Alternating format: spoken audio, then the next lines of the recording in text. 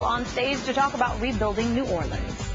I have a number of friends and family that um, have been affected by breast cancer and survived, and many that have not. So it's it's, it's emotional.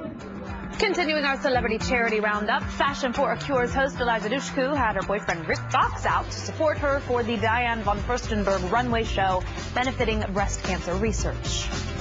It's good to be the queen.